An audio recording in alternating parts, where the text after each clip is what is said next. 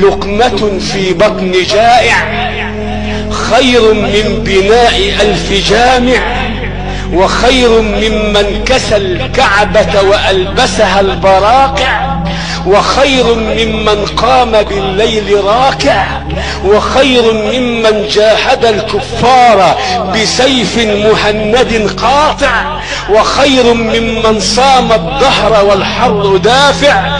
إذا نزل الدقيق في بطن جائع له نور كنور الشمس ساطع. فيا بشرى لمن أطعم جائع.